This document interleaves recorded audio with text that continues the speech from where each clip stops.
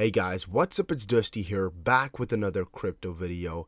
And today, I want to start the video out by actually picking a giveaway winner, and that is going to be that Apple guy. He says, when will you be doing your other channel, Dusty Social? I like your finance channel too. Well, that's very nice for you to say, guy.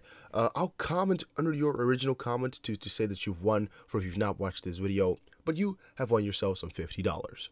So guys, today we're going to be talking about Ripple and XRP, and I'm pretty excited as there are quite a lot of really important things to show you guys, but also make sure you press the like button on this video right now. Make sure you comment something down below because on the previous video, this one right here, we hit 400 likes within 24 hours. That's why we give away 50 bucks to that Apple guy. But if we hit another 400 likes on this video. So just 400 likes within 24 hours, we're giving away another $50 in the next XRP video. It's going to be exactly the same way. We just go to a random YouTube comment picker, we pick a commenter, that one wins $50, and we can either do 2 times 25, 5 times 10. I don't give a I don't give anything. You guys choose whatever you want. You can share it with people if you want to. It's all pretty cool. But guys, let's get into some news for today. So first of all, Wally here said on Twitter, we started executing trades earlier this week. We are literally setting, selling currencies in seconds. Trading FX happens at internet speed. Settling FX doesn't, but it can. FX trades doesn't, but it can. It's actually a retweet from Emi Yoshikawa from Ripple because she said MoneyGram places big cross-border bet on Ripple, and Eric Dadun replied by saying it can, and it's starting to. Great work. And then he has a tweet attached from Tenitoshi which says, since the partnership with MoneyGram, the XRP market in Bitso, of course from Mexico, has been steadily growing. This implies the increase in its rapid payment volume. It will also attract more market makers to the market and let them buy XRP. And yes, if you look at the liquidity index down below here, XRP to Mexican, um, I thought they use Mexican pesos, whatever. I don't, you know, I'm not too good with these abbreviations with everything. It's trading volume for the Mexican money, but yeah, it's, it's pretty interesting um, here, the partnership with MoneyGram came in, and look at it right now. Over this short period of time here, it has grown immensely, right? At least that's how I'm viewing it here. Um, this is most likely where it was announced a little bit, and this is where really the fruits are are showing because there's a very big difference in in this right here, guys. It's it's insane. But that is also something that I want to keep reminding people of is that we're just at an infancy stage for Ripple and for XRP. Right? How I'm seeing it this is all just the beginning. And if we compare to any other year, any other cryptocurrency bull run, if we compare to any other cryptocurrency out there, any other company out there, they're just so different in every single sense that you just cannot compare with anything. And really, for this to look as amazing as it is right now, it's just so great. And another thing, um, I made a video earlier today explaining why Ripple and XRP could have a lot to do with the Federal Reserve, but Dilip Rao here is actually making it even even, wow, even better. He says, or he, Dilip Rao is engaging central banks and market infrastructure to transform global transaction banking with Ripple, one country at a time, views are my own. But he says on Twitter, um, as a reply to the Fed payments improvement, which just announced, the Federal Reserve banks are developing a new interbank 24 7, 365 real time gross clearing and settlement service to support faster payments in the US. He said, as a reply, great move hashtag FedNow will drive the transformation to real-time payments infrastructure around the world, both domestic and cross-border. Ripple mission, Internet of Value. So again, it is kind of looking here like more and more so like um, there's a partnership between the Federal Reserve and Ripple going on. We can't tell for certain though, as there's a lot of other companies that are looking like they could fit as well. But just from the replies, just from what the the woman said in her speech, it's all looking a lot like Ripple, so I'm not counting it out. Again, that all combined here already is just why I think Ripple is going to be insane. And we're not only talking about Ripple, but also about XRP because, yes, they're going to be dragging that along. So, one thing I should be mentioning is what Jack the Rippler, um, Rippler, or Ripple XR Pi said on Twitter. He says XRP reached $3.80 based on nothing. Banks and financial institutions will use XRP. Now imagine what the price will be in a few months. Have a nice day. This might sound to you like a very dumb tweet, like, like yeah, it, it reached three dollars eighty, but it doesn't mean it will ever get there again. You're completely right. It does not mean that the price will ever get there again. But the basic knowledge that you have to have in the back of your head is that if any asset, even security, just think about anything you can hold. If any asset can become worth a lot just because people have said something about it, and it has not shown anything, you know, you're holding a piece of metal. People are saying like, "Oh, that might be very valuable." You know, we have no idea what it does, but it might be very valuable, right? And it already goes up in price. But now you really see that it is very valuable, and you really start to see that a lot of people want this. A lot of people are using it already, and it's just insanely good.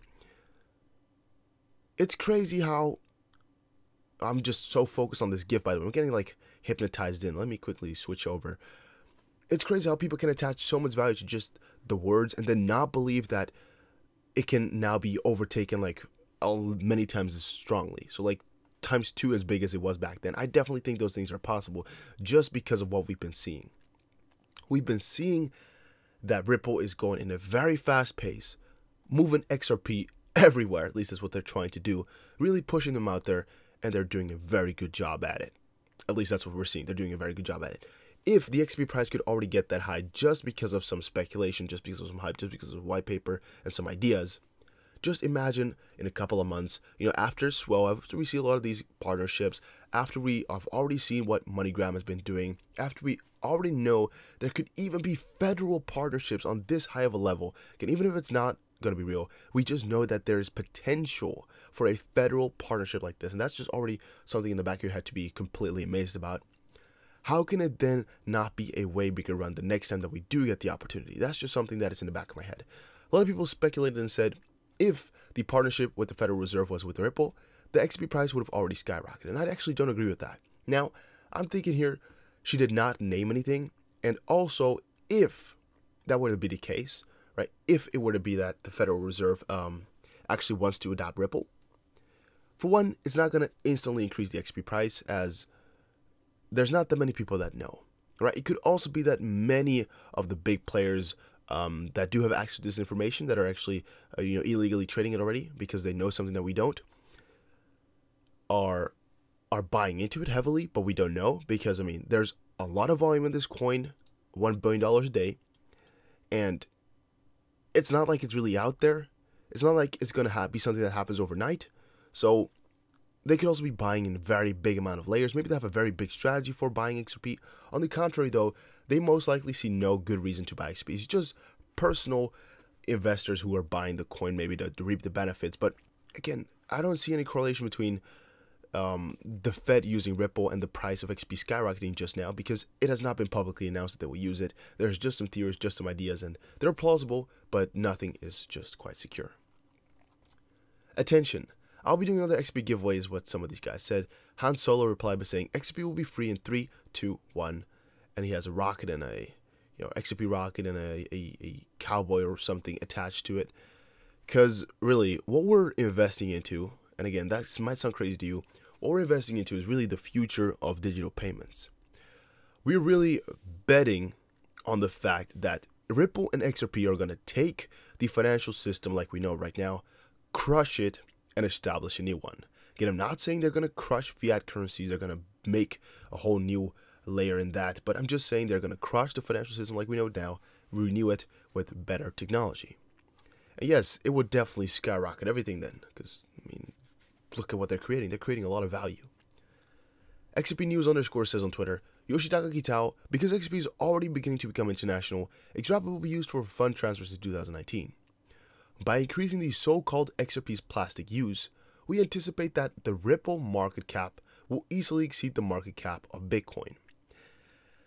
Um, it's very positive for him to say such a thing. He's also in a position for it to be profitable for him to say such a thing. That's also it. But on a side note, it's and again he, he says here he didn't say that though. He's hyping. Did he actually say it? Hmm, I don't completely know if he did say it, but it doesn't matter for the whole point. Um, since again he has a lot of involvement with Ripple, with XRP, and he has the best benefit for it to become that price. But something that is quite interesting to talk about is again how market cap really works. Will XRP actually ever overtake Bitcoin in terms of market cap? And do we really want that? Do we need that? Now, could it happen? Plain up, yes, it can happen. And if the conditions are right, which we've covered a couple of times, but we don't know all the conditions yet, if they're all right, it will occur. Do we need it? Do we really need XRP to become the number one currency in the market cap? I don't think so. There's literally no good reason why they have to be number one. Again, a lot of hype boys will say, yeah, so they're number one to show the people that they're best. It's not always the one that's the number one is really the best. In this case, XRP might be a lot better, but it's just not bought into as much as a lot of these other coin, uh, uh, as Bitcoin. Just because I think Bitcoin is more of a store of value rather than XRP, and literally in a store of value is where you store your value, which will naturally have a higher market cap, right? That's something that's quite in intuitive to me. Sounds really logical in the back of my head. XRP is used for transfers, just to hold for a couple of seconds really quickly, and we, as early adopters, are just trying to accumulate a lot for it to appreciate in price because that's better for those payments later on, and also just to have some already to make your transfers even simpler, possibly. With Bitcoin, I see it as a store of value. People are buying this coin because it has a lot of value. And just like gold, and speaking about gold, there's actually a lot of debates about Bitcoin being better or gold being better as a store of value. And Peter Schiff actually also placed something about that on Twitter. He said, CNBC is trying its best to dupe its audience into buying Bitcoin. Despite gold being much larger market, CNBC devotes far more airtime to Bitcoin. The Chinese aren't buying Bitcoin as a safe haven. Speculators are buying, betting that the Chinese will buy it as a safe haven. Again, it, it's a very interesting opinion, but if you've already checked it out on your right here, Peter Schiff, CEO Euro Pacific Capital, that's one kind of orange flag, but then chairman schiffgold.com. That's where the major red flag hit me like, oh, this guy is a, probably a good gold holder or has a big benefit for gold becoming very popular or gold doing very good. And of course, he's then not going to be vouching for any digital asset or cryptocurrency because that hurts him, most likely. Again, he's a gold bug, is what people have been calling him for a longer while. He's very popular, by the way, but I just thought it would be easiest to show you guys that, you know, Schiff Gold here it has gold in the name, so it's pretty clear as well that he's involved with that. So he will always be hating on on the currency, but yet again, there will always be haters on anything. When XP Moons, I want one of these. Hey, if you get one of those, make sure you get me one as well because that looks amazing. You just ride through the through the sky on your your whatever whatever it's called, your, your airboard. Yeah, the French military is interested in the technology. There was like on the news, there was one of the the guys, um, this guy that you see flying here. He wanted to fly from France to England, I think, or something like that. But he had to refuse somewhere and it went wrong. But it was just a very cool uh, project. But somewhere along, yeah, it, it went wrong somewhere. But somewhere in the video, you can see his kid talking about it as well, and you can see the guy talking about his flying experience. But it's just really amazing if you see it, guys. Like, to just be flying like that on your own, it's just kind of amazing, right? It's really, really crazy to be flying like that. But yeah, again, if you have enough XRP and if it moons, you'll be able to afford you one maybe in the future. XRP feels suppressed as something, right? By Dutch underscore XRP. It's interesting because I can understand why it feels that way. Even if we go back to some of the theories of the Federal Reserve being really involved with Ripple, it could also be that the whole bigger plan is to really push down the price of XRP for just now. Bitcoin just had some crazy insane gains over the week here, but XRP is riding like a roller coaster. There might be something bigger involved here, we just don't know, so we cannot speculate upon it. And Tim XRP said on Twitter, What is happening, XRP? Levels are off the charts at Galgatron. And you can see, if I had to wager a guess, MoneyGram is testing up 4%, and a lot of people are speculating. Uh, again, it could be MoneyGram, Bitso, it could be a lot of different things.